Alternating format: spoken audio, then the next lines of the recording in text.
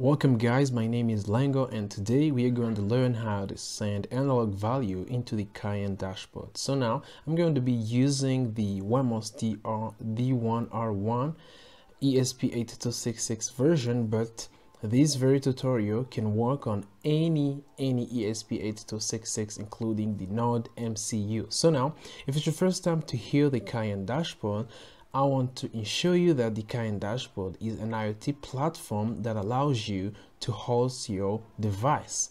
So when you go to Google and type in Cayenne dashboard, I think the first one to pop will be the one that we need to use. So now you click on it, you're gonna have the same interface as this one.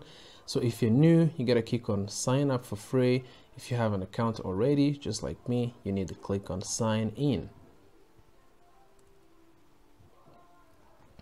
So now what you're gonna do is I already have an account. Gotta use my username which is put in my email. Then put in my password. Then log in. So now after I am in there's some very useful information that we have. You know, we have the Raspberry Pi, we have the Arduino, we have the LoRa, and we have the bring your own thing. So now we are not gonna use any of these these raspberry we're not going to use the raspberry pi we're not going to use the arduino we're not going to use the LoRa we're just going to use the one that's not uh, available in the list that's why i'm going to choose bring your own thing so i suggest you most of the time use bring your own thing because it supports everything so when you click on it, we have the most important informations. You can see right here that we have Arduino MQTT.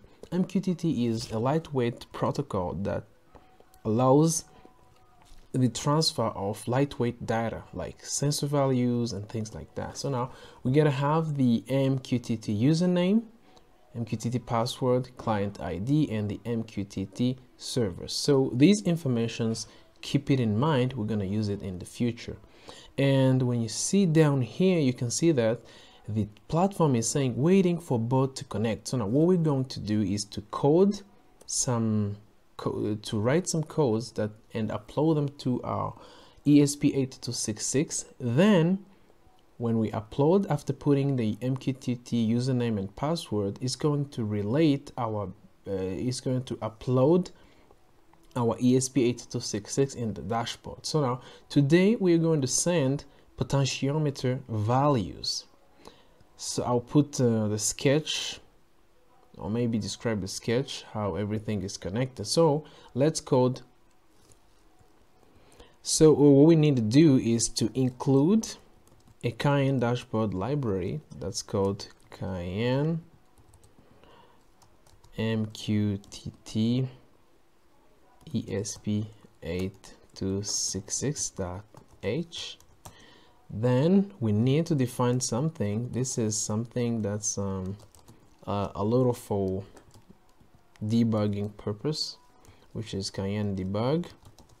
Then the most important thing is to connect our board to the Wi-Fi. So now I have my Wi-Fi the Wi-Fi name is zoom 101 then I'm gonna go and specify the password. I'm gonna call it pass with password yes. It's an array of course. And then I'm gonna specify which what is the password. It's 101 x um 101 then go to the next. So now remember the informations that we got right here. The MQTT username, the MQTT password, that's what we're gonna bring. So now you're gonna define the username. It's gonna be an array2 equal. So notice I'm gonna go ahead and copy this one right here. Then paste it here. Next, I'm gonna define the um, M qtt pass which is the password that I'm going to copy from the dashboard the Cayenne dashboard. It'll be this one. Copy and paste it here. So now the third thing is the client. Sorry it's gonna be a character client ID so now this one too is copied from your dashboard. Put it in there. So now I hope we're so now we can uh, begin. Serial begin. If we need to print something in the serial monitor begin. Let's just put in a baud rate of 9600 then we also need to start the cayenne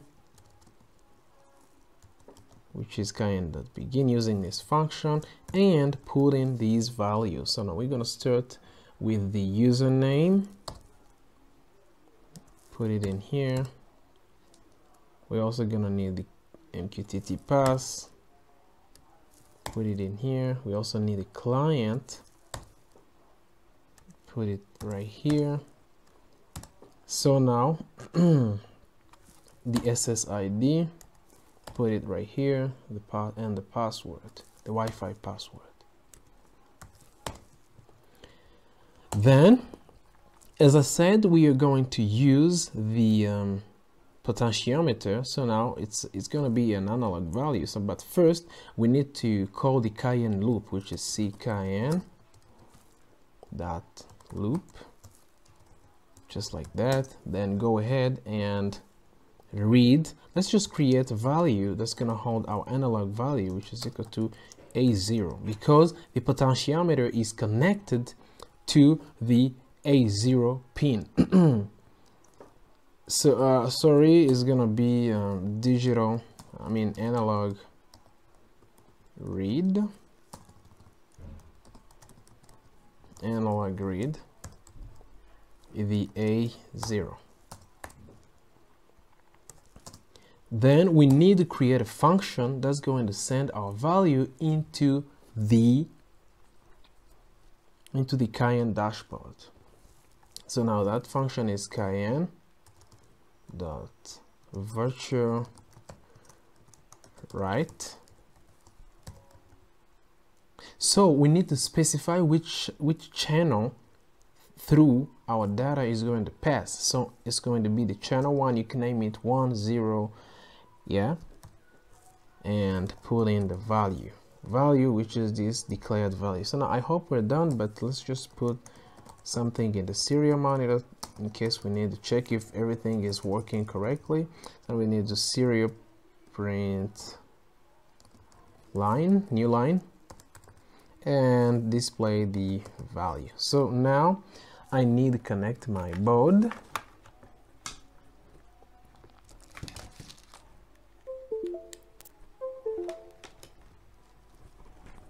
with everything connected.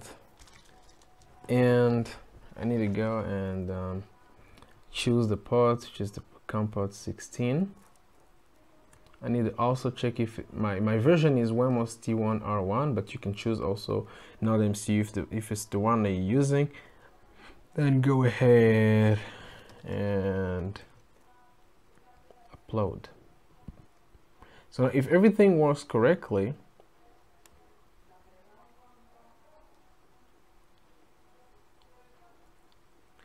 If everything works correctly, we can see we will see a result in our dashboard. After everything is uploaded successfully, when you go back to the dashboard, you will see that there are some available values, which means these values can change as soon as I adjust the potentiometer. You can see that when I scroll a little, a little, so when I scroll up to the last value, which is 1024, and it's real time. So when I go back so I mean I'm, I'm, I'm adjusting the potentiometer back. Yeah so now that's how the potentiometer works and I think this is the end of our tutorial. Don't hesitate if you have something to ask or maybe a suggestion or maybe the next thing that we can do on this channel as a tutorial